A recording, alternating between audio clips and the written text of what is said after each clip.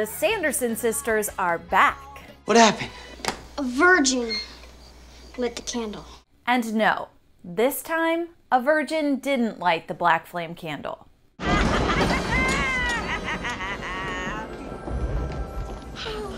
We're. Yep, Bette Midler basically won Halloween, giving fans of her hit 1993 Halloween flick Hocus Pocus everything we've been waiting for a reunion. Sister, sister, sister Sarah. Oh, I missed thee. Art thou ready to wreak havoc?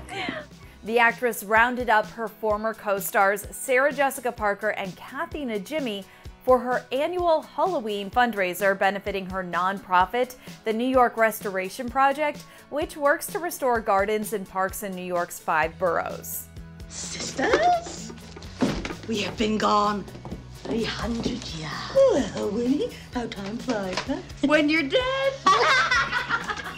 And the one hour virtual event was freaking epic.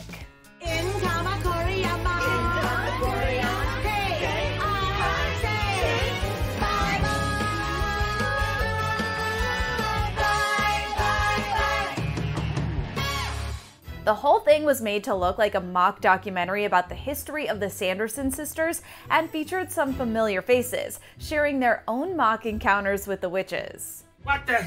Yeah. What the hell? Oh, Master. Oh, you've, you've grown so much. Older. What the hell is a master?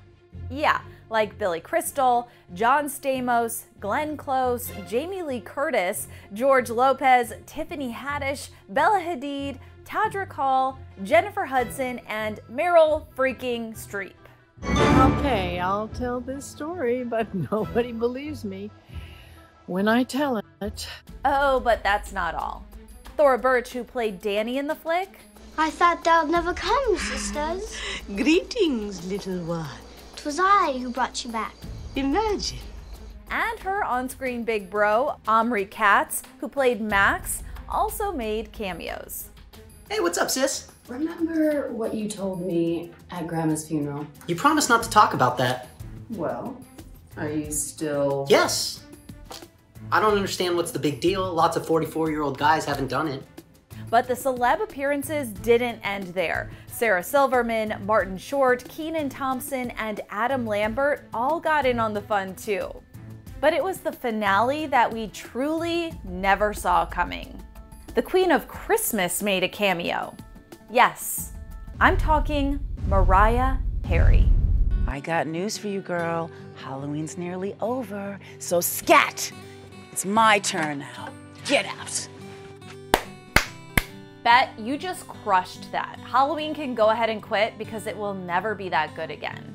But this might not be the last time we see our girls Sarah, Mary, and Winnie.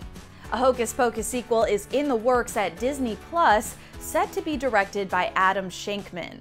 Oh my goodness me. Oh, I, I hope they get to me before I'm a corpse. And when E.T. caught up with Bette in September, she gave us the good news we were hoping for. Please tell me that you would be up for coming back for it. Oh, absolutely. Yes. Yes. Absolutely. Can't wait to fly. Oh my God, I'm glad. So you're in, in. Oh, yeah. Oh, yeah. We're just talking. Well, you know, we're talking logistics. Are you broads a little old to be trick or treating?